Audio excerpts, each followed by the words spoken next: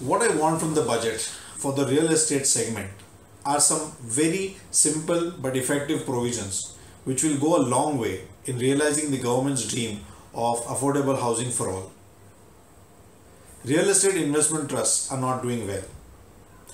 And to enable this important vehicle to be a success, the government needs to re examine whether dividend distribution tax needs to continue. The minimum alternative tax, though has been rationalized, I think it needs to be rationalized further.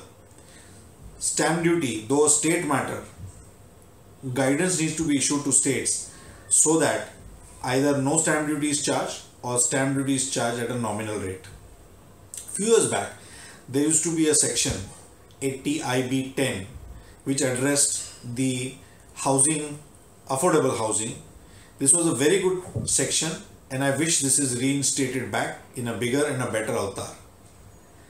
GST needs to be implemented real fast because as we all know the incidence of tax on housing is a big one and the sooner GST is implemented it will help the real estate segment.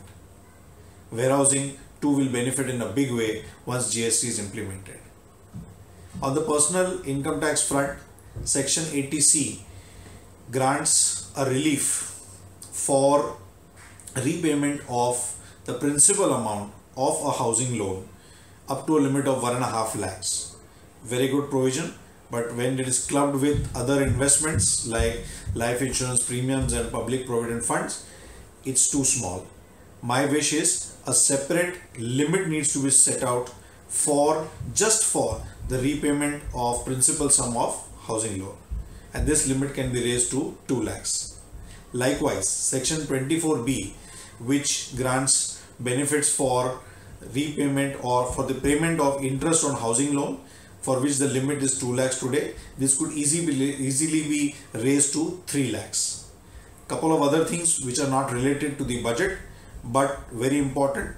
One is the granting of industry status to the real estate segment so that priority sector lending can be extended to this industry and the passing of the real estate regulation act so that the investor confidence goes up